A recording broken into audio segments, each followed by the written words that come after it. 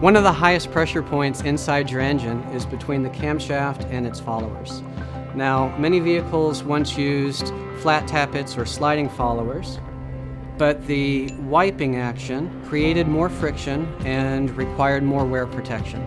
Newer engines typically use roller followers. Roller followers generate less friction and they're essentially easier to lubricate. One of the wear protection additives that's most common is ZDDP or ZDTP, but let's just call it zinc.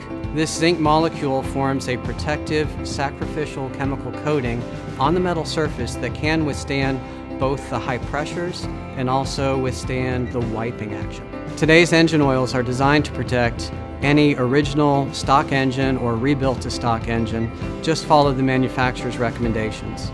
But if you happen to have a performance modified custom engine, if you happen to have an aggressive cam, stiffer springs, and sliding followers, that particular combination, you may require more zinc in your oil. Pennzoil does carry oils for those special applications, such as our Pennzoil GT Performance Racing Oil and our Pennzoil Platinum Racing Oil. So contact one of our technical experts at 1-800-BEST-OIL Discuss with them the recommendation from your engine builder and come up with a great Pennzoil product for your performance application.